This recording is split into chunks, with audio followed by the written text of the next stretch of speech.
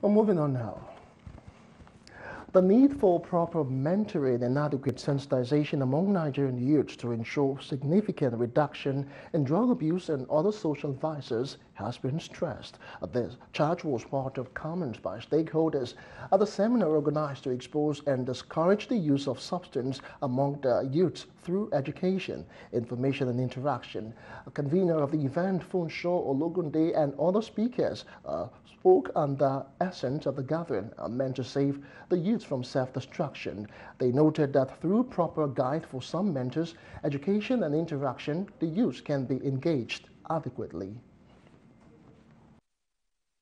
Well, it is a social responsibility to the church and to our society where all of us there are parents. Many of us are already grandfathers.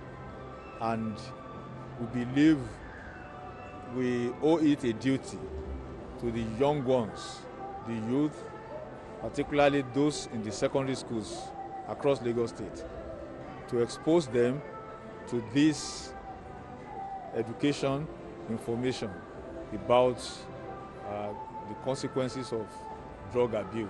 Since we are passing across to them is that they don't only have only rights, but they also have duties and responsibilities. And we are passing the message across that they need to be responsible citizens. They need to be aware of their responsibilities as Nigerian citizens and as well as their rights.